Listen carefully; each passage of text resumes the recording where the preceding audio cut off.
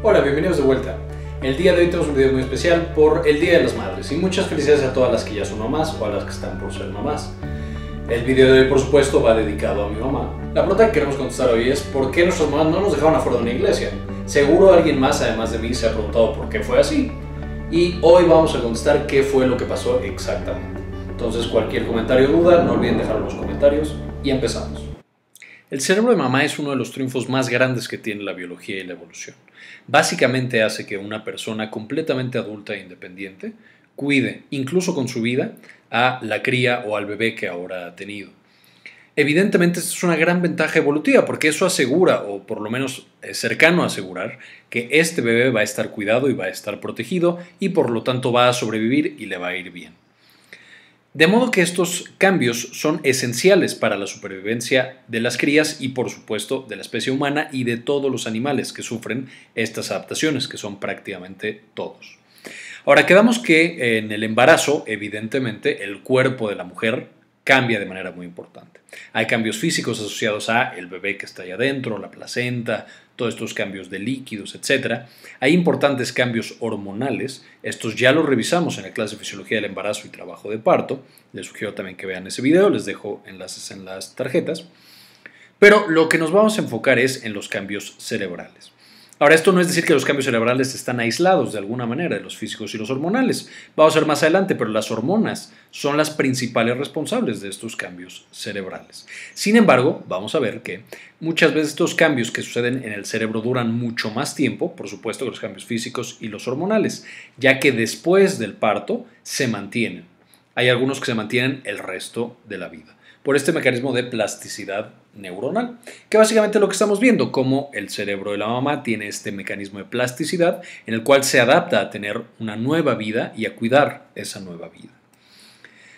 Entonces, desde el momento de la concepción, un poquito después, se empiezan a hacer todos estos cambios, se empiezan a secretar nuevas hormonas, se empieza a haber otros cambios inmunológicos y conforme el bebé avanza en su desarrollo, el cerebro de la mamá también cambia hacia la mentalidad o el cerebro de una mujer que es mamá. Estos cambios van a ser muy variados y van a tener diferentes orígenes y diferentes propósitos. Pero el principal mecanismo que lleva a este cambio, a esta neuroplasticidad, son las hormonas ya quedamos que durante el periodo del embarazo vamos a tener una gran cantidad de hormonas que se están secretando todo el tiempo hacia la sangre de la mamá, ya sea por sus propios órganos que siempre tuvo, por ejemplo los ovarios, por ejemplo las suprarrenales, etcétera, que estos van a producir especialmente al principio del embarazo hormonas como la progesterona, el cortisol y el estradiol, pero creemos que también en algún punto de aquí vamos a tener un órgano nuevo. O sea, las mujeres desarrollan otro órgano para poder tener un bebé y este órgano es la placenta. Este es uno de los vínculos más fuertes que tenemos entre dos seres humanos o entre dos seres vivos en toda la existencia, debido a que es un órgano compartido, es mitad bebé y mitad mamá. Y ya desde aquí vamos a empezar a tener cambios, esta placenta genera cambios benéficos casi siempre para tanto el bebé como la mamá. Desde ahí se comunican, se conectan y afectan la vida del uno del otro. ¿Qué es lo que va a producir la placenta? Una gran cantidad de hormonas. En la clase, eh, en otro video lo vimos, la placenta puede producir prácticamente todas las hormonas que produce la mamá y que produce el bebé, pero los produce en cantidades y con eh, estructuras químicas ligeramente diferentes. Por ejemplo, la, la, placenta puede ayudar o participar en la síntesis de casi todos los esteroides, estradiol, progesterona, cortisol, pero también puede secretar algunas hormonas como el lactógeno placentario, que se parece mucho a la prolactina. De manera que, básicamente a través del embarazo, desde la semana 0 hasta el final del embarazo, o perdón, del mes 0 al mes 9, que es el final del embarazo, tenemos que hay una gran variabilidad en la concentración de estas hormonas. Principalmente la progesterona y el estradiol son los que más aumentan. Eh, aunque también, por supuesto, tenemos aumentos importantes en el cortisol, a veces incluso más grandes, y otros con la prolactina y la oxitocina también cambian sus concentraciones. Este cambio es masivo. Nunca una mujer había tenido tal concentración de progesterona, estradiol, cortisol, prolactina y oxitocina. Y los tiene no solo en el cuerpo, sino que por supuesto estos mediadores o estas hormonas llegan al cerebro y ahí ejercen cambios. Después, viene este periodo, que es el trabajo de parto, y por supuesto caemos en un terrible síndrome de abstinencia. Justamente el pasar de el cerebro estar bañado en estas hormonas que tienen efectos sobre los neurotransmisores, a pasar a este momento de relativa falta o abstinencia a estas hormonas, va a hacer que sea un momento completamente diferente. Ahora, estas hormonas que tenemos tan elevadas durante el embarazo, ya quedamos que son desde el cortisol, pero también especialmente los estrógenos, la progesterona, oxitocina, prolactina, etc., de hecho tiene efectos muy poderosos sobre la salud neurológica y mental de la mujer puede modular hacia arriba o hacia abajo una gran cantidad de enfermedades neurológicas. Por ejemplo, la migraña y los dolores de cabeza. Si una paciente tiene migraña, hay muchas que reportan una disminución en la frecuencia de los ataques, mientras que otras mujeres no tenían migraña y de repente empiezan con estos ataques. La epilepsia, especialmente en el tercer trimestre, disminuye un poco su riesgo, sin embargo, hay mujeres, el 30% más o menos, que de hecho aumentan la cantidad de crisis epilépticas que tienen.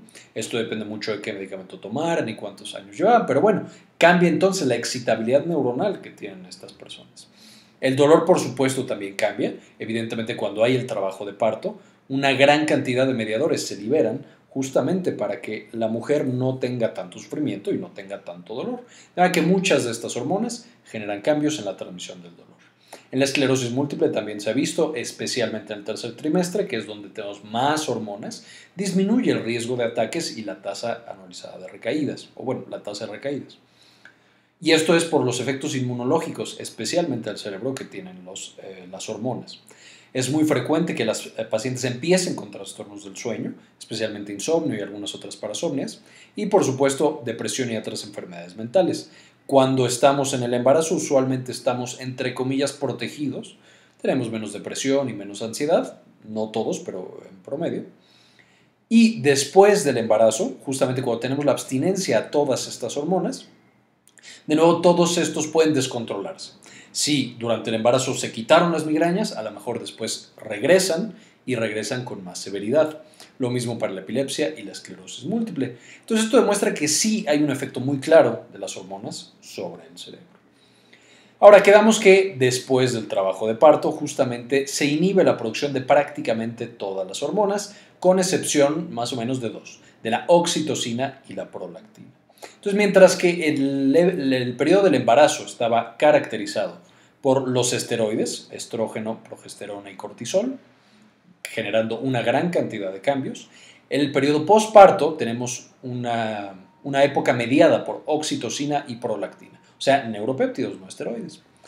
Es importante mencionar que, aunque la prolactina y la oxitocina son los principales, los protagonistas una vez que ya tenemos al bebé, estos no podrían funcionar o tendrían eh, muy limitadas funciones si no hubiera sido porque los estrógenos principalmente aumentan la, receptividad del cerebro a estos otros neuropéptidos. Entonces, si nosotros le ponemos estrógenos al cerebro, de repente, y especialmente en concentraciones tan altas y por tanto tiempo, eso hace que el cerebro de repente se convierta altamente reactivo y que responda muy bien a la prolactina y a la oxitocina. ¿Qué es lo que hace que nosotros secretemos estos eh, neuropéptidos? Básicamente la prolactina y la oxitocina desde el momento del trabajo de parto, lo la oxitocina va aumentando. Y esto es por la salida básicamente del bebé a través del canal vaginal. Todo el proceso de trabajo de parto, las contracciones, etcétera, todo eso hace que aumente la oxitocina y que aumente la prolactina. Y que entonces empiecen a acelerarse todos estos cambios que tenemos en el cerebro de la mamá. De nuevo, ya teníamos un poco cuando teníamos solo progesterona y estradiol y concentraciones relativamente bajas de oxitocina y prolactina. Y cuando tenemos el trabajo de parto y solo nos queda oxitocina y prolactina, ahora sí se activan completamente las conductas maternas. ¿Cuáles son estas nuevas conductas? Tenemos principalmente dos. Una es la lactancia, esto es muy importante y de hecho muy pronto, de hecho vamos a hacer un video de lactancia y de su relevancia y de su mecanismo. Y dos, evidentemente cuidar al bebé. Antes no cuidaba a un bebé, no era un bebé propio. Ahora sí es un bebé propio, entonces su cerebro se adapta para entenderlo, para cuidarlo, para protegerlo y básicamente para hacerlo parte de su vida. Y para esto, por supuesto, las estructuras del cerebro necesitan cambiar. ¿Cuáles son las principales estructuras del cerebro que hemos encontrado que cambian entre una mujer que no ha tenido bebés y una mujer que tiene bebés? Básicamente el cerebro de las mujeres se vuelve más grande tiene más sustancia gris y sustancia blanca. Entonces, esto nos sugiere que está funcionando más estas partes del cerebro que tenemos a la derecha. ¿Cuáles son? La corteza prefrontal, que esto le permite a la mujer aprender estas nuevas conductas, hace que sea más fácil que aprenda, ah, ese chillido es de hambre, ese chillido es que está sucio, ese chillido es que le duele el estómago. Entonces se, se vuelven más aptas para aprender.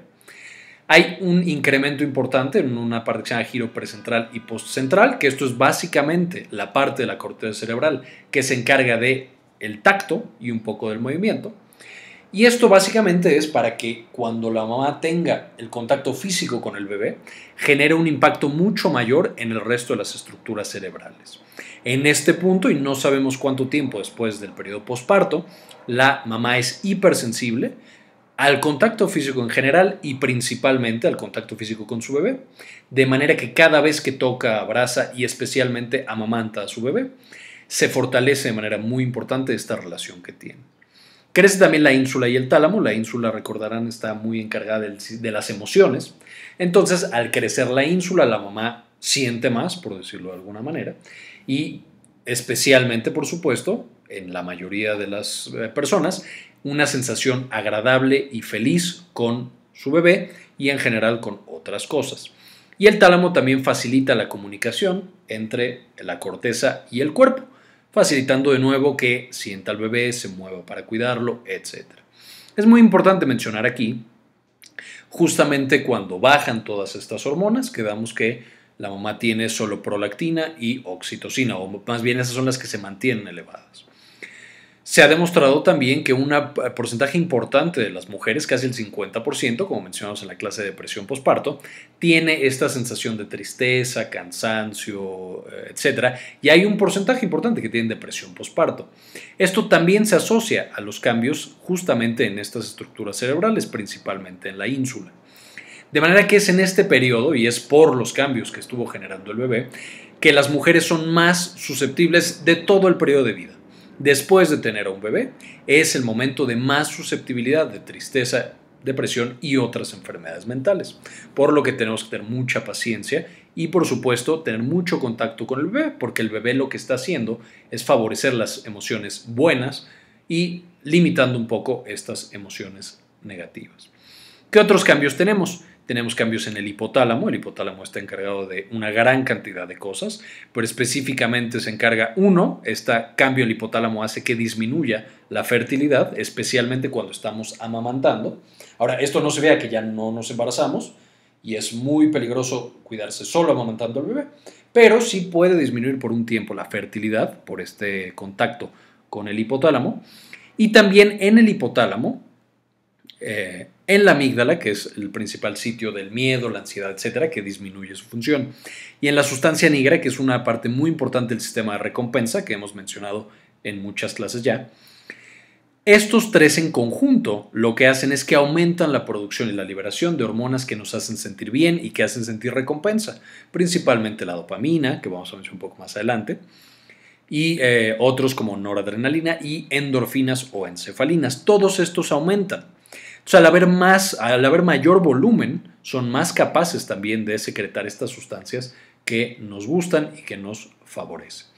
Todo esto hace que, si nosotros estamos con un sistema de recompensa hiperactivo, entonces estamos muy propensos a la motivación, y, cada, y somos hipersensibles al tacto, al contacto con esta nueva criatura, y además tenemos una gran eh, capacidad para tener emociones, entonces todo esto nos está dirigiendo a que el contacto continuo con el bebé haga de las mamás, por supuesto, que se enamoren, caigan cautivadas completamente. ¿Qué otro mecanismo hay? O digamos, ¿qué mecanismo molecular? Básicamente la oxitocina y la prolactina lo que hacen es que aumentan la función de una gran cantidad de neurotransmisores. Ahora digo que aumentan, es un poco más complicado porque depende de la región, la dosis, etc. Pero en términos generales, básicamente lo que hacen es que vuelven más efectivos a los neurotransmisores de estos sistemas de recompensa o de motivación. Estos, eh, estos líneas o estos mecanismos que van del área ventral tegmental al resto del cerebro hacen que se faciliten, aumentando especialmente la dopamina y las endorfinas, por supuesto, pero también otros neurotransmisores como el glutamato, el GABA, la serotonina, la noradrenalina y la hormona del estrés del cerebro.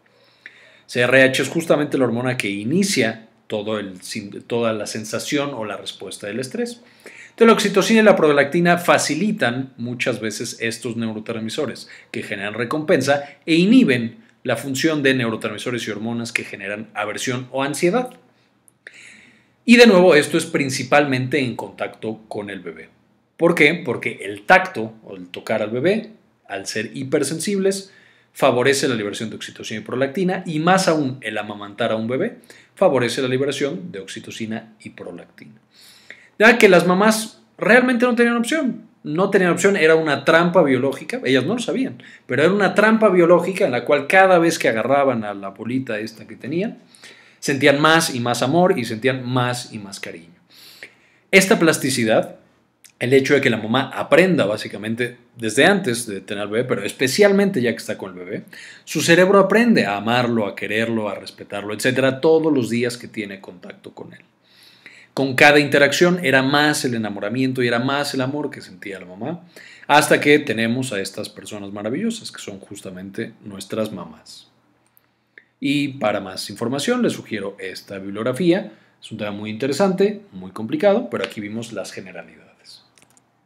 Bien, esto fue todo por el video de hoy. Espero que les haya gustado mucho, que ahora entiendan mejor qué pasó con la pobre cabeza de sus mamás eh, o qué está pasando en sus cabezas si ahorita están por convertirse ustedes en mamás. Y como siempre, ayúdenos a cambiar el mundo, compartan información. ¿Por qué?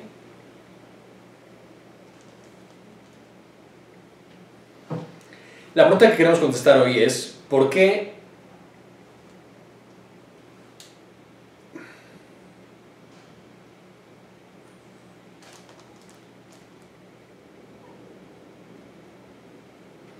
La pregunta que queremos contestar